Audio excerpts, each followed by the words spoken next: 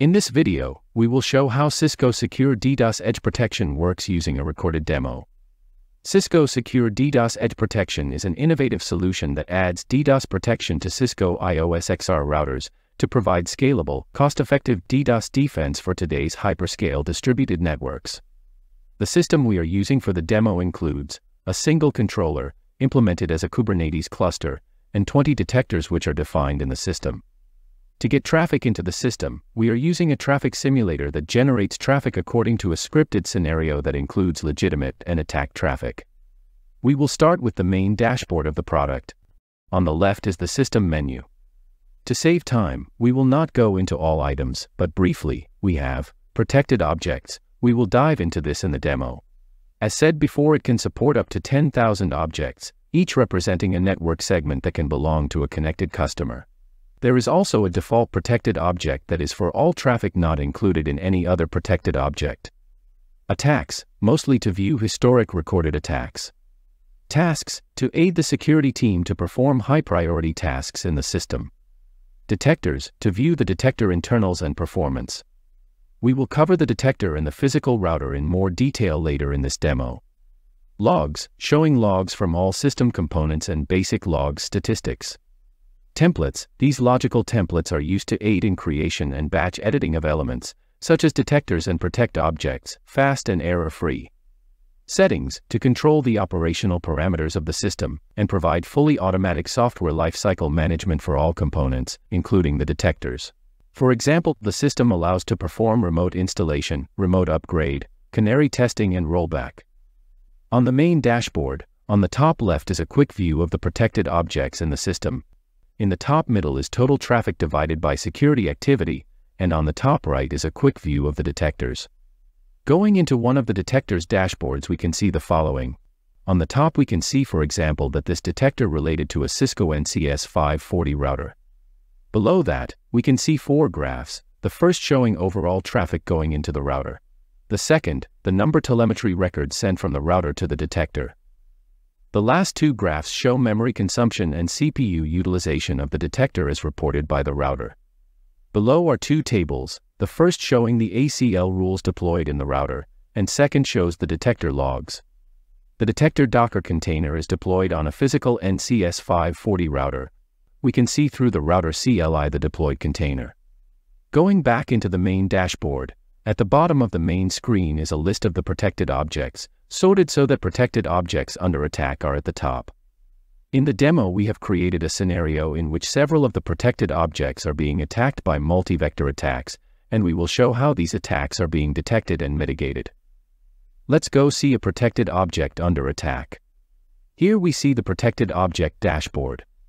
A quick tour of what we see. On top is the protected object information. Below it, on the left, is the traffic going through the protected object. We can choose different time scales, view it either per protocol or security activity, and select packets per second or bits per second. To the right of the graph, we see how the different routers in the system contribute to the traffic going into that specific protected object. Going down to the bottom of the screens we have two tables, the first with three tabs, top application, top talkers, and top destinations, lists by order from high to low traffic which is related to the protected object.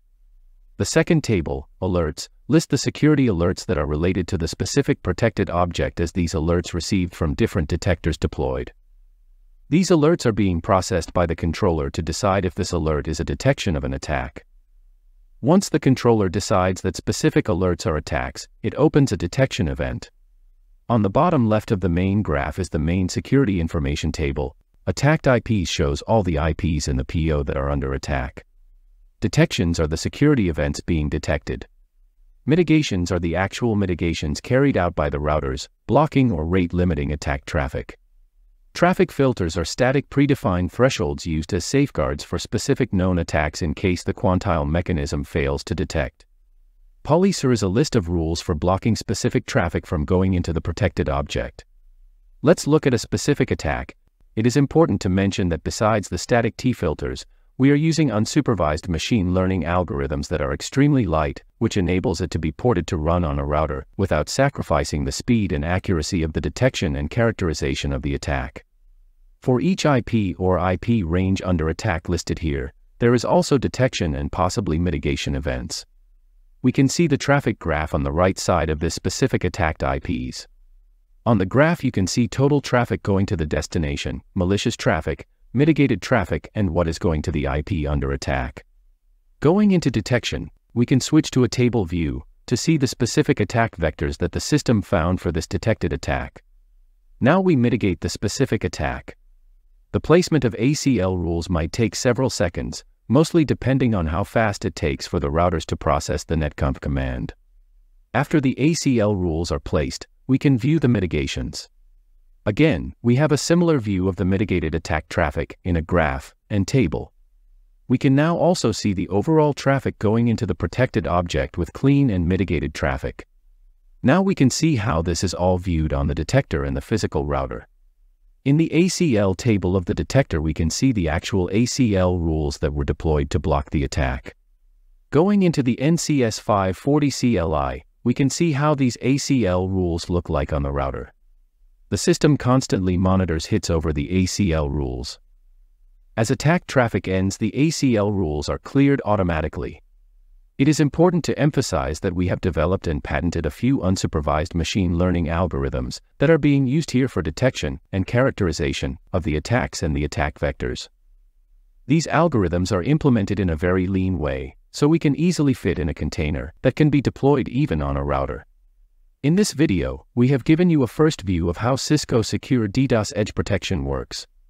To learn more and to bring up your specific questions, Use the request demo link on the cisco.com page, and we will reach out to you to schedule time for a one on one follow up.